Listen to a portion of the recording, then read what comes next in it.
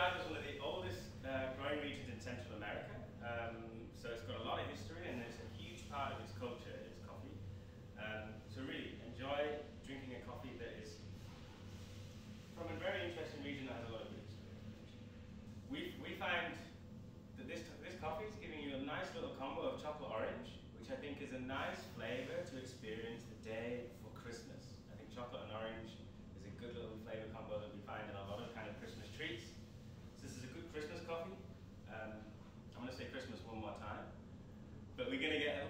try to take note of the baby chocolate notes, a little bit of the orangey notes, and you'll have a slight little touch of